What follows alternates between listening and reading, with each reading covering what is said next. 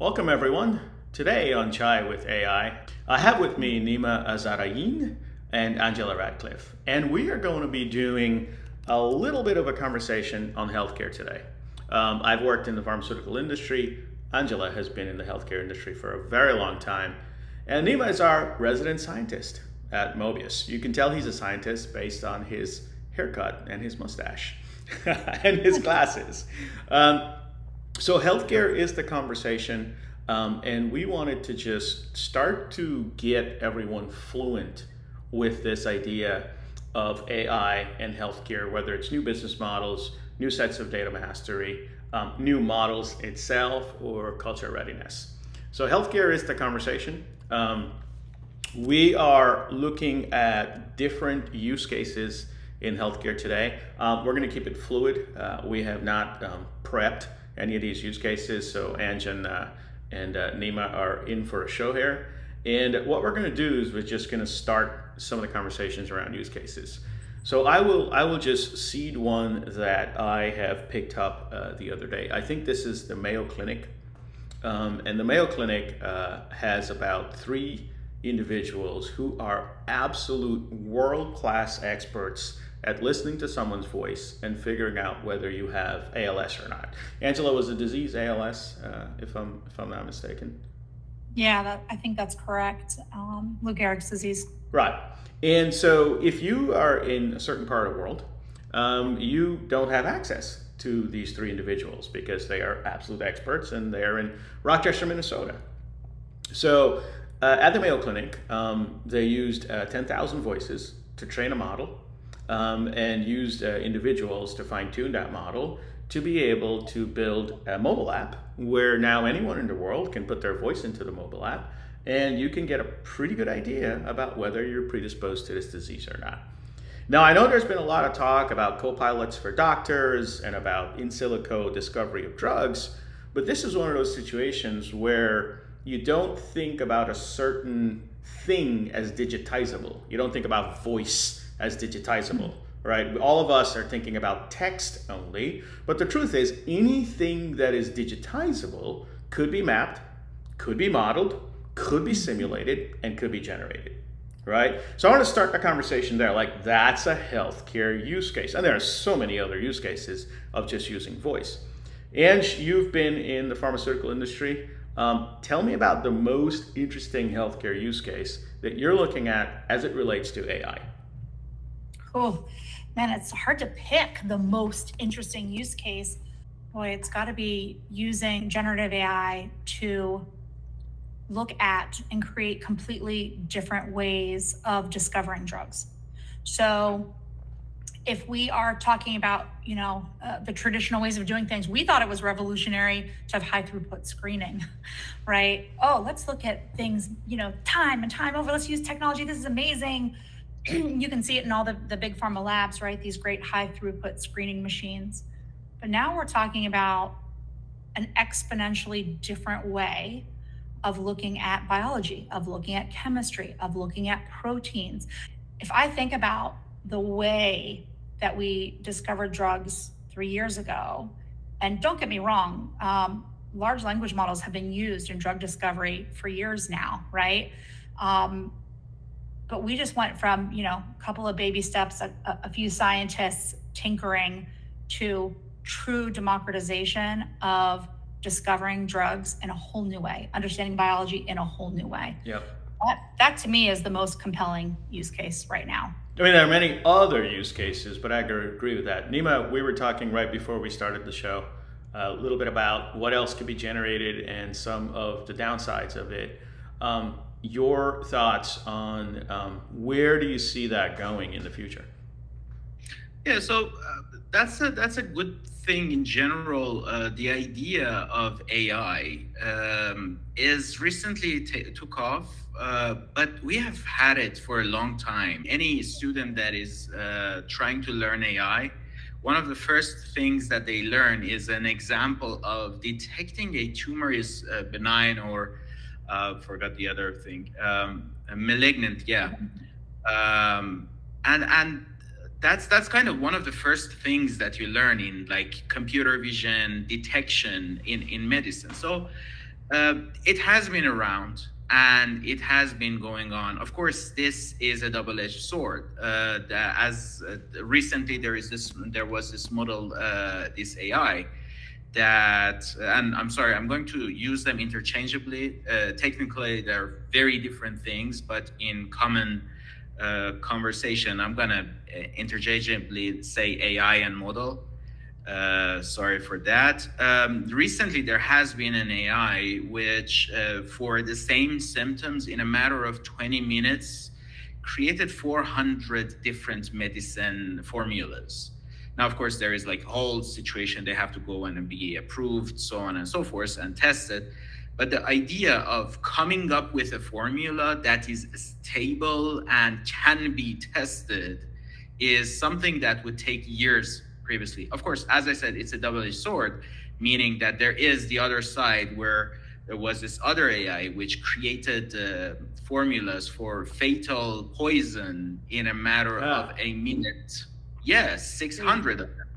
But that's that's the thing. Um, we have to use it and that's why ethics in in ai is also an important factor. Yeah. but one important things i want to mention here is uh, the idea of mul- multimodality which allows ai um, to work in different sorts of data that previously were, were not necessarily compatible, like a sound signal, which is a wave, to a digital one on one and zero, or a picture, uh, which can be, yeah, RGB pixels, again, zeros and ones, but completely different structure of meaning. And an AI that can work with both of them or some of them at the same time. Yeah, this is an interesting uh, discussion on multimodality. Uh, by the way, I'm going to put everyone's um, LinkedIn profiles uh, uh, in the comment section. Nima is uh, is in addition to being a resident scientist at Mobius, he's also a professor of AI, um, and I love to uh, listen to him and talk to him all the time. Um, most of the world who is just introduced to AI is pretty excited about text um, whether it's text to speech or speech to text or large language models only, anything that can be digitized can be modeled, can be simulated, and can be generated. I think it was Google's AlphaGo uh, that was folding uh, proteins, right, to be able to, to mm-hmm. bring certain unique things together. Um, Nima, your point around multimodality is interesting. And mixing images, sound. I mean, if you think about the, uh, the um, the Mayo Clinic use case that I just talked about, um, that's sound, right? Um, but you can mix that with text. You can mix that with images as well. Um, last data that I looked at, I think um, if you're in uh, if you're in imaging, I think GI, my, my wife's in GI.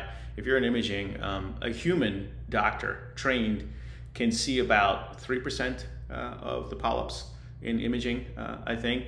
But with computer vision um, against trained models, uh, you're able to see about 20% um, of the polyps, right? Now, that's a massive improvement, but it also changes business models. It mm-hmm. changes legal risk. It changes legal liability. And I'll just put this out there. Five years from now, if you're practicing GI without AI, where you're still bringing that 3% precision to the patients, whereas there's a tool that's a model that could bring 20%, of, of that precision, are you susceptible to malpractice exposure? Right? These are the types of conversations now that has to be had as we think through not just the ethics, not just the cultural readiness, but also the implications to the practice of the benefits that we get. Um, I, what I'd like to do is I'd like for us to pick a use case that we want to go through right? Um, and there are three different aspects of the conversation here that we are going to get into. Aspect number one, by the way, uh, hope everybody likes our chai. Uh, this was generated by Midjourney. Um, I'll, I'll share the prompt as well in the comments. I thought it was absolutely beautiful art, uh, by the way. Gorgeous. so, first thing as we think about use cases, and we'll pick a use case here and walk through this data mastery. We've all lived in predictive analytics, um, but it's so much more important now to get mm. data right, even if it's from Nima's perspective around multimodality, data quality, consent very interesting. Um, lineage, all that type of good stuff. Model maturity. Um, this is a conversation that I think people are starting to have now. Um, my sense is that models are going to be commoditized, and data is really where the differentiation is going to be. But there's a lot of discussions around model maturity. Uh, Nima and I hang out, hang out in Hugging Face all the time and are constantly blown away by new models that are popping up every day, and then cultural readiness. Mm-hmm right? So, Angela, let's talk about the patient having a doctor as a co-pilot. What what yeah. what do you think about that from the perspective of where do we get that data from? Could we master it? What models are out there? Nima, maybe you you touch on the models, and I can probably touch on, on cultural readiness already. So our use case today of Chai with AI on healthcare is patient with a doctor as the co-pilot. Angela. Yeah, well, okay, so this is such a, a juicy one because um, I'm reading a book and we'll come back to that later. But this, well, first of all, you you've set up this idea of what if instead of deep fakes that are bad, used for nefarious things, we've got deep fakes for good. I mean, that's essentially what you talked about with the the you know Mayo Clinic example and so, you know, what's another version of that? Well, either the doctor can have a co pilot in their pocket, yeah. or the patient could have a co pilot in their pocket. And man, there are so many implications to that, right? So, first of all, from a, a data perspective, look, uh, we heard all the news, you know, months ago that um, some of some of these models and tools can pass, you know, medical exams and things like that. So we believe that these models, these tools are equipped to sort of be that co-pilot. But we're, we're mixing performance with capability. Passing, uh, uh, look, I'm very impressed that a model can pass uh, these tests, but yeah. does that mean it could practice? Well, and and look, um, the we all know hallucination is still uh, an ever-present um, factor here, and we still don't understand exactly how those happen. And it's very common for a model, a, a, machine learning tool to defend its answer, even if it's wrong. And so, because we've learned that, um, there goes the danger side, right? Because I'm a patient and okay, I you know need to understand something about my hypertension, and yes, my co-pilot in my pocket can take me a completely new place in understanding how to manage my blood pressure. And I, by a new place, I mean far beyond Dr. Google now, right? We, right. we let's face it, right? We all use Dr. Google. Um, some there's some ridiculous statistic I can't quote now about how much uh, versus our regular doctors. Um, in some cases, it's going to be incredibly helpful, useful. Health literacy still in the toilet right. globally, right? At the same time, there's the simple example like that and then there's the example of a doctor who um, who can use that co-pilot to change the way they act with empathy toward a patient et cetera but we can't really talk about any of that if we don't talk about the holy spiderweb mess that is healthcare data today and we hit that topic of data mastery and we start to think about how easy it is to get a longitudinal patient record right now. And so I'm a patient and I'm going to be starting uh, there's a lot of stuff I know. There's data everywhere about, you know, about me. Um, but for that co-pilot to be truly effective, how am I going to train the yeah. model for me? Yeah. Right? Yeah. How am I going to find the the data mastery? Forget consent. We don't even need to go to consent today, right? But how do I even think about training a model personally for me because isn't that really where it's at when we take this next leap like yeah. is it good enough to just be able to do sort of you know correlatory things based on the population that I might be stratified against. We've been Right. able to do lookalike models for patients for years. Right. So, uh, you know, I don't know. I'd love to hear sort of what you guys see from the model perspective. Well, I'm going to pass it to Nima in a second to talk to talk about models. I think that look, when I was in healthcare, all the questions that you just asked, Angela, we've been asking it for a while. How am I going to get a longitudinal patient record? How am I going to get, um, you know, integrated data? How am I going to get personalized data, et cetera? When we were asking those questions five, ten years ago, it was sort of like um, asking the questions because it's it's kind of like you understand that there's probably going to be some value in the data, but the value that was going to come from the data was not well defined. I think Right. what's different about today is that the examples that we're seeing where artificial intelligence is being used to drive real value now makes the questions no longer just a pontificating exercise, but a real productionized exercise because now we've got, you know, the the promise of real personalization and real value that can be driven. and Um, by the way, personalization all the way through the value chain, Rich, because it's it's not just personalization the way we used to talk about it. Can I personalize a message to a patient to get them to show up and pick up that prescription? No, no. We're talking about can I personalize the drug I'm discovering all the way over here, Yeah. all the way through, right? So that to me is is mind blowing stuff. I think so. So we pro. One of the things that I like to do. Um, I've shared some videos before of my opinion spectrum, right? About about AI, where you've got everything from alarmists to optimists and pessimists and realists. The other thing I like to do is just to remind everyone that this journey that we're going on, this sort of all of us as a species, this is a 10K marathon. And we're about the 300 meter mark, right? Exactly. So some of the things that we're seeing today that that we're thinking, yeah, but that's too far out. Um, if you think 10, 20 years out, you can start to see how those things will come to life. And it'll take five to six years for a drug manufacturer to get there anyway.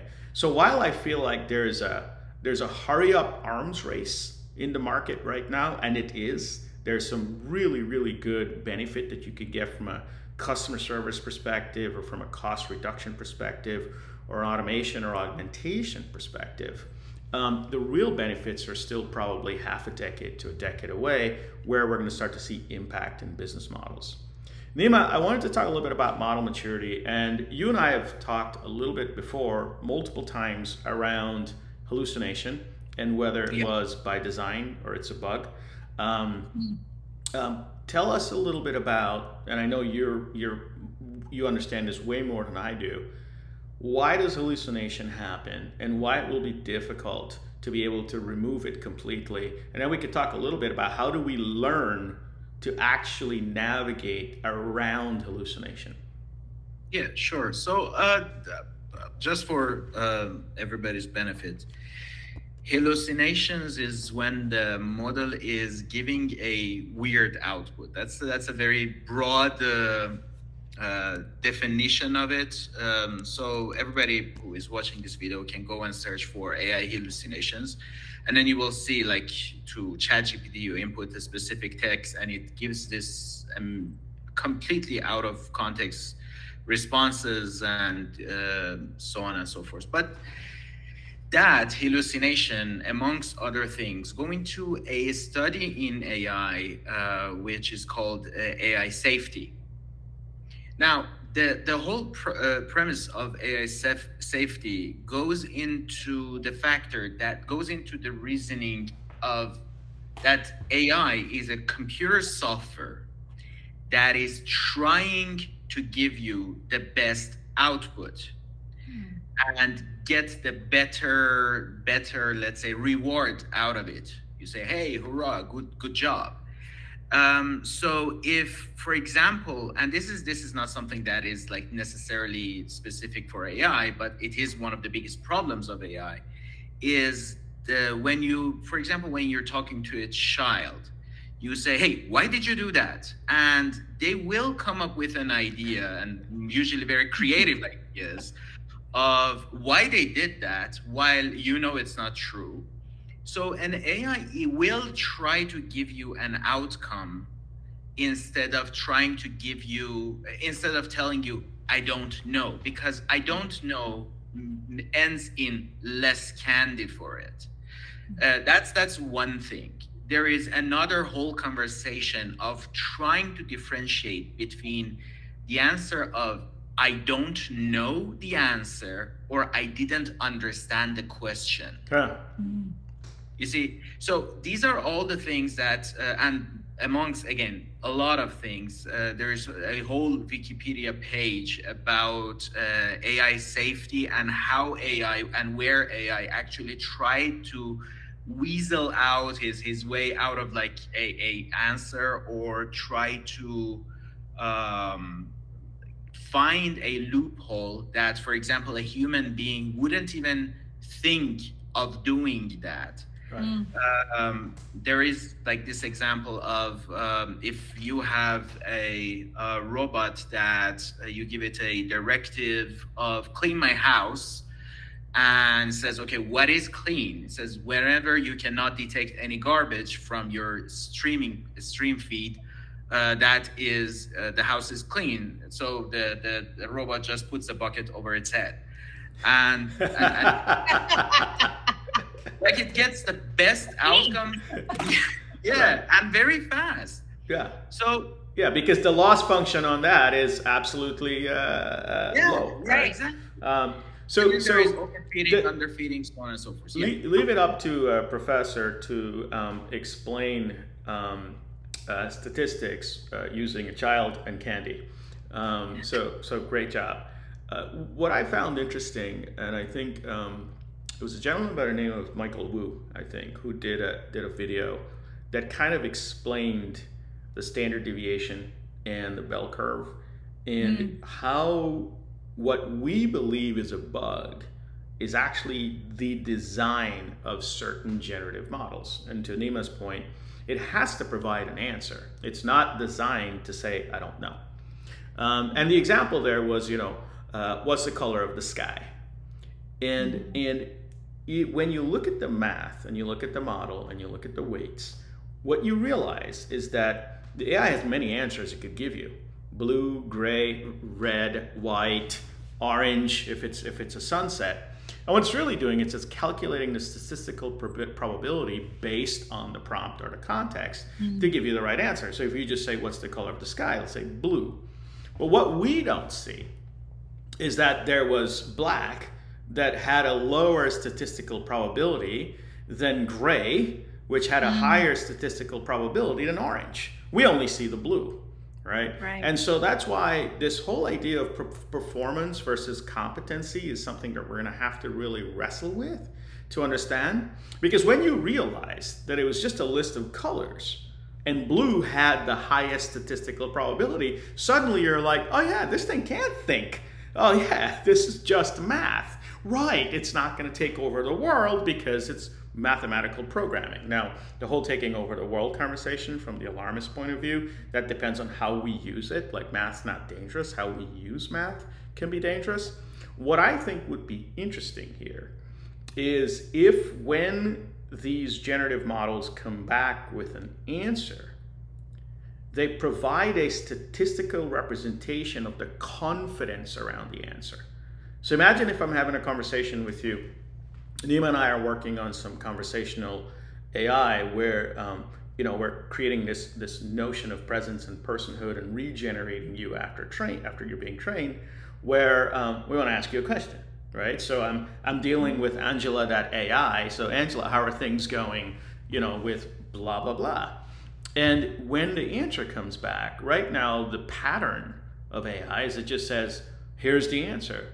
Imagine if Angela.ai says, here's the answer. By the way, I'm only 35% confident on that answer.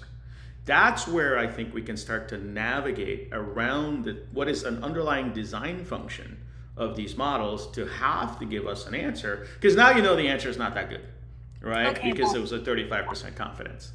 This is compelling but I think what you're doing is in some ways you're also introducing from a cultural readiness perspective this topic of there's another scale that we don't have yet, right? So you might be an alarmist to an optimist. But think about all the people who are going to pick up a tool and score or no score. Um, they are going to want to just use it as is. So we're going to have a scale of people. We're going to have high human in the loop people, people who understand trust but verify, trust but verify, right? And or, and maybe there's a you know somebody even further on the spectrum who is is beyond trust but verify. They're going to be the type of person like my husband who wants to have dueling GPSs in the car, like the one on his phone and the one on the car, and the right because he's got to see which direction's right. And I'm like, and and still won't follow it, by the way. Right. still won't follow GPS, right? So they're going to be people on that end of the spectrum, and then we're going to have people on the complete other end of the spectrum who are going to be willing to use a tool and trust it as is um, especially in situations they perceive as low risk situations.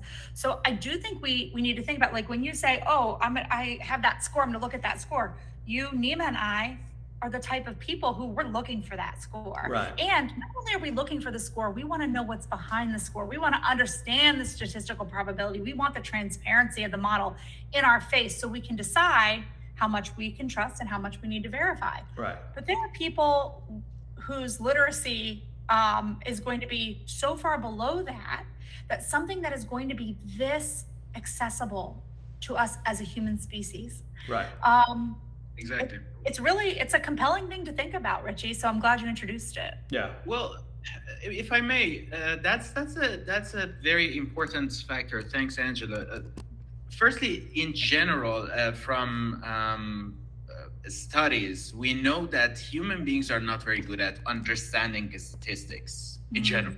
We're not good at that.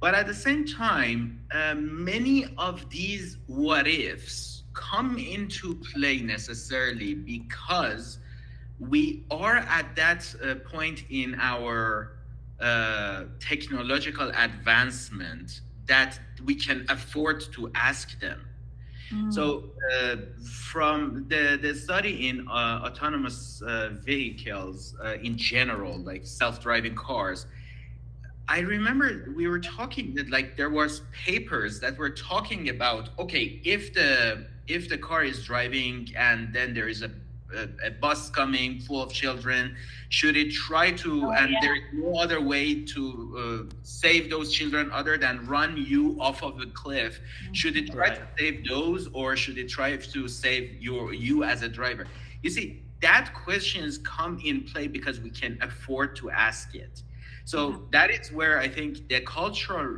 uh, cultural readiness is one of the biggest important most important factors, but there are many other things that we are right now doing with AI. We can do with AI mm-hmm. before we have to ne- necessarily think about it. Because honestly, at this point, even a, a the best human doctor cannot necessarily know everything about everything yeah. that exists this, at, their disposal. This is a fascinating conversation. I was, uh, was talking about um, errors that that mm. could be mm. made. Um, I, I, forgot the statistic. I think it's two hundred fifty thousand. Um, if I get it wrong, somebody just get it right in the comments. Two hundred fifty thousand people die from some sort of malpractice, some sort of healthcare malpractice annually. I believe it's in the U.S. I don't know if it's global or not. We'll find the right stats on that. Mm-hmm. So it's not like humans don't make mistakes right? right? It's it's not like it's not like in that paper, you know, we've never had someone drive a car and you know and mm-hmm. run into someone and kill them. Um, what's really interesting about AI is the accountability of it and where does that liability mm. fall, right? Wow. Yeah. Um, so so so if if you are driving um, one of Musk's Teslas and uh, and you knock someone over um, who, who's at risk? Um, is it the car manufacturer? Is it the AI manufacturer? And so now you think about a business model where maybe Mercedes has the most sophisticated, uh, you know, autonomous driving model, and their new business model is they're leasing that intelligence to all the rest of cars, and they become an insurance company because now you have to underwrite that risk under yeah. some form of actuarial, right? So when we think about cultural readiness and cultural literacy, specifically around AI, you cannot ignore the notion of business models, right? Business yeah. models are going to change for good uh, and for the worst. Right? That's right. Um, I wanted to introduce uh, a conversation about a business model. Now, this one's probably going to surprise you guys. I know you didn't you didn't get a prep for this coming in. Um, my my my father was uh, is an agriculturist, and I grew up grafting plants. I've grafted all sorts of interesting fruits and created stuff that's delicious and stuff that nobody should eat. And this is a science by itself, right?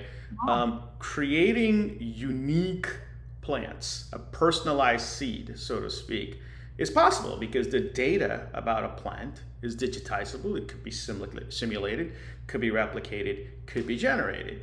So in some ways, um, I believe we're going to get to a point where we're going to be able to tune the plant for consumption, for eating, right? Where we can really build foods that are now personalized to your biological biological predispositions, right?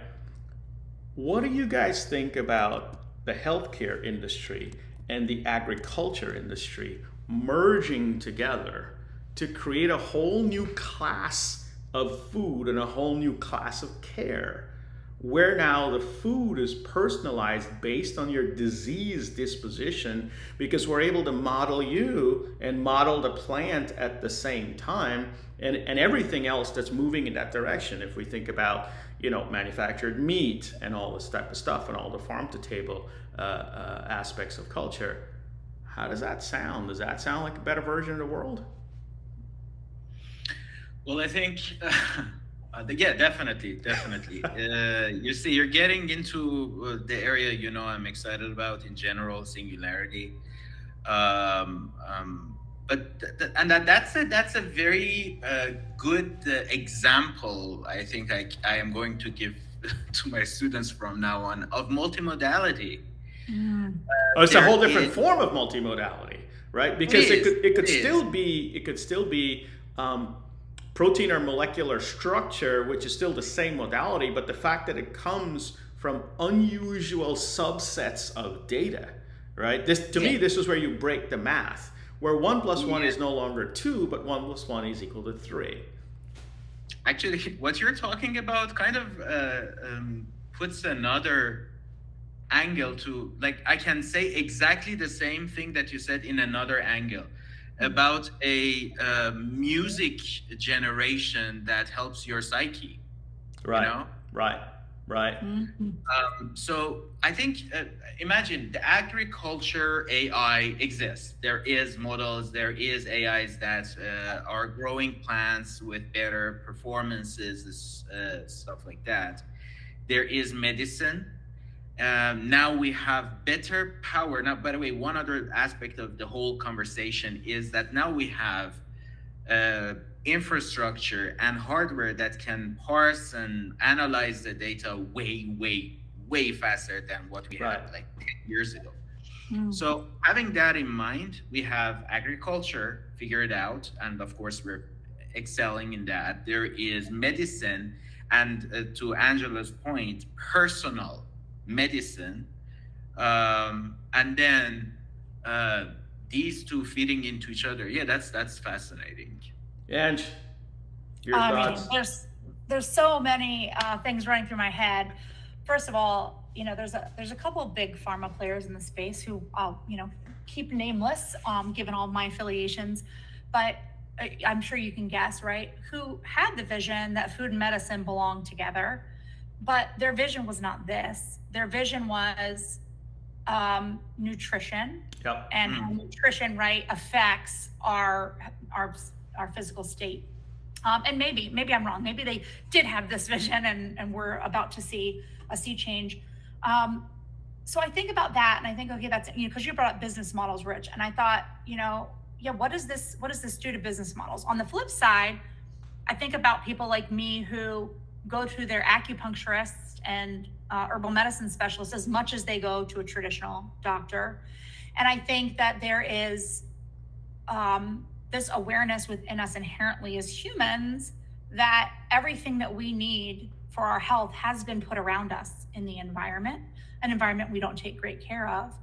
Um, but wow, like if if we could have uh, instead of our patio plants being uh, you know mini tomatoes and basil um, it could be what we need to stay optimally healthy like that's a pretty magical combination. But what's per- most personal magical, personalized seeds. Personalized seeds right. Personalized that still tastes good. That still tastes good right. Uh, exactly. I'll, I'll take that chocolate to earl grey uh, apple please.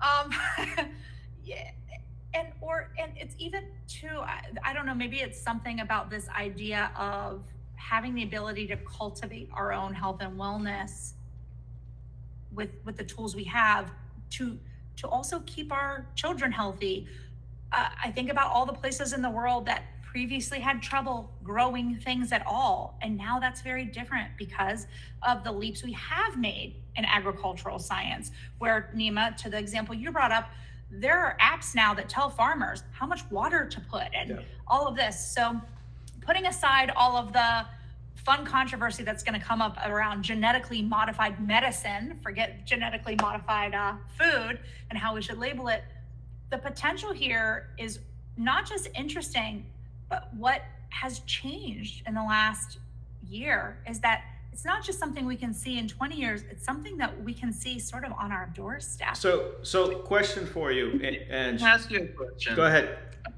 yeah so uh, because you're talking about cultural readiness one of the issues in general with with food mm. one of the issues with food is that you do not see the outcome right away like if I go in ChatGPT, type a prompt right now, mm. you will see the outcome right away, and mm. that's why everybody's so excited about. Right. Yeah. Right. Imagine having a a a medicine that uh, a food slash medicine that is designed for your well-being and you will see the result in a month or two right so uh, the the old adage adage of you know an apple a day keeps the doctor away needs to be amended that says if you could remove hedonism, by all means, that would work, right? Um, so, so folks, this conversation can go on forever. Um, yeah. I do want to just take us back through memory lane here. Um, chai for AI or chai with AI. That's our that's our our conversation here today. Um, we're talking specifically healthcare. Angela, I want to thank you um, for joining Nima and I. Um, Nima, thank you for um, you know kind of going with the flow uh, here uh, um, in a topic that you might not be completely aware um, or familiar with. This feels to me like the three pillars of consideration. Whether you're on a board, you're in C-suite, you're a data scientist, data mastery, model maturity, and cultural readiness. And, and there are many different ways to describe this. Um, yeah. At the end of the day, the success of any company's ability to use artificial intelligence is going to come down to trust. It's going to come down to can the person that is receiving the augmentation rely on it for the mm-hmm. same types of SLAs that we get from a sophisticated or, or, a, or a permissioned human, right? Um, I love this conversation about business models what excites me beyond the notion of data and the notion of model and the notion of cultural readiness is the business models that are going to emerge from this. I'm going to go out on a limb here and say that within the next 20 years, one of the top 20 pharma companies is going to transform completely into a farming company. You get it? Pharma to farming. Um, yeah that's our conversation on healthcare. And again, thank you for your time. Nima, thank you for your time. Until next time.